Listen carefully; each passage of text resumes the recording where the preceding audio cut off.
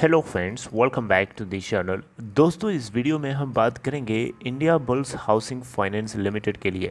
लेकिन उससे पहले आप लोगों से रिक्वेस्ट करना चाहूँगा, अगर आप चैनल को फ़र्स्ट टाइम देख रहे हैं मेक श्योर sure कि सब्सक्राइब करके बेल आइकन को हिट कर लीजिए, ताकि दोस्तों आपको कोई भी वीडियो मिस ना हो, और डीमेट या ट्रेडिंग अकाउंट के लिए डिस्क्रिप्शन बॉक्स में लिंक दिया गया है। दोस्तों India bulls housing finance limited में अगर आज देखें तो नाइनटीन ऑफ़ मे को 3.64 परसेंट गिरावट के साथ जिस समय आपसे मैं बातचीत कर रहा हूँ, अभी ये ट्रेड कर रहा है। अगर आज देखें तो 116.95 के गैप डाउन ओपनिंग पे ओपन हुआ, उसके बावजूद भी 116 का लो 118.70 का हालाँकि हाई भी है और जहाँ पूरी तरह मार्केट क्रैश है तो उसका असर इसके ऊपर भी हमें देखने को मिल रहा है।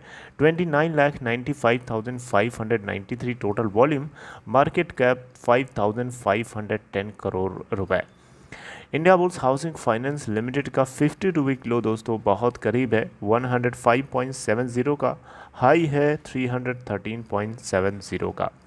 दोस्तों अगर खबर की बात करें तो मोडी की तरफ़ से इसको इसके रेटिंग में कुछ अफर्मेशन दिए गए हैं जो आपको पता होना चाहिए। अच्छी बात है लेकिन कुछ कंसर्न भी जताया है। राइट उन चीज़ों को सुनना चाहिए आपको। देखिए मोडी की तरफ़ से मोडी एक दिग्गज रेटिंग एजेंसी है। ट्यूसडे को इन्होंने अपडेट किया कि India bulls housing finance limited का जो आउटलुक है, वो पहले नेगेटिव था, लेकिन अब उसको स्टेबल कर दिया है। राइट बी थ्री की रेटिंग थी India bulls corporate family rating और foreign currency senior secure rating उसको अभी भी बरकरार रखा है, लेकिन पॉजिटिविटी के साथ, यानी अफर्म किया है उसको। और ये जो अफर्मेशन है रेटिंग के अंदर this is driven by Indiabulls strong capital comfortable liquidity and profitability में डिक्लिनेशन जो हुआ है और एसेट क्वालिटी में जो कमज़ोरी दिख रही है, इन सारी चीज़ों को देखते हुए ये अफर्मेशन लिया गया है। किया गया है? दोस्तों, आपको बताना चाहूँगा, किसी भी क्रेडिट ग्रोथ के लिए या क्रेडिट स्ट्रेंथ को बनाए रखने के लिए कैपिटल का होना एक बहुत इंपॉर्टेंट पॉइंट होता है और यहाँ पे इस कंपनी के पास लिक्विड एसेट्स तो हैं, बहुत हैं।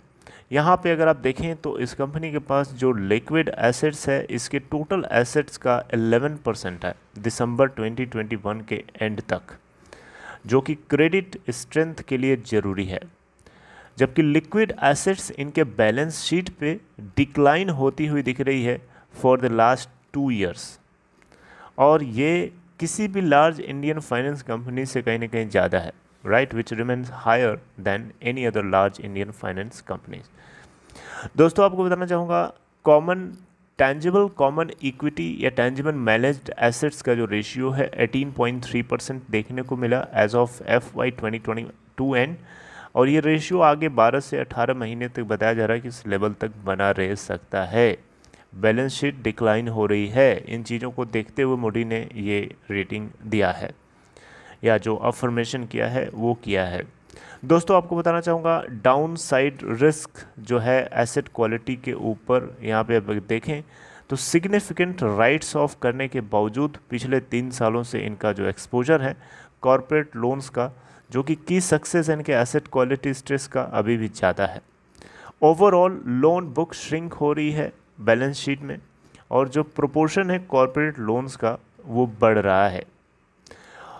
अनदर एस्पेक्ट यहाँ पे फ्लैग किया गया है मोदी की तरफ़ से इसके प्रॉफिट के, अंदर डिक्लिनेशन देखने को मिला क्योंकि रिटर्न ऑन एसेट्स इनको 1.4 परसेंट का देखने को मिला for the nine months ended December 2021 जबकि 2.1 परसेंट था यही data for the end year ended March 2022 यानी प्रॉफ जो एसेट्स इनके हैं, उसके ऊपर जो रिटर्न आना चाहिए, वो बढ़ना चाहिए ना पीरियड पीरियड वाइज लेकिन ये पीरियड वाइज बढ़ा नहीं है, घटा है। 2.1 परसेंट जो कि मार्च 2020 के एंड तक जो ईयर गुजरा, उसके बाद ठीक 2000 उसके बाद ठीक नाइन मंथ्स जो कि दिसंबर 2021 तक, इस नौ महीने में इनको एसेट क्वालिटी के ऊपर आने वाला रिटर्न गिरता हुआ दिखा। क्रेडिट कॉस्ट यहाँ पे क्रेडिट कॉस्ट ज़्यादा है और उसके करस्पॉन्डिंग जो रिवेन्यू आना चाहिए, वो वो कम है, उल्टा। राइट लोअर रेवेन्यू ईल्ड्स इसकी वजह से ये डिक्लाइन बताया जा रहा है कि देखने को मिला। और क्रेडिट कॉस्ट आने आने वाले 12 से 18 महीने तक हाई रहने वाली आपको जैसे कि पता है कि रिज़र्व बैंक ऑफ़ इंडिया ने जब रेपो रेट बढ़ा दिया है तो डेफिनेटली बैंक्स को फंड हायर रेट पे मिलेंगे। तो बैंक्स उस उस मोमेंटम को आगे इम्पार्ट करेंगे। जहाँ जहाँ लोन देंगे हायर क्रेडिट कॉस्ट बढ़ जाएगी।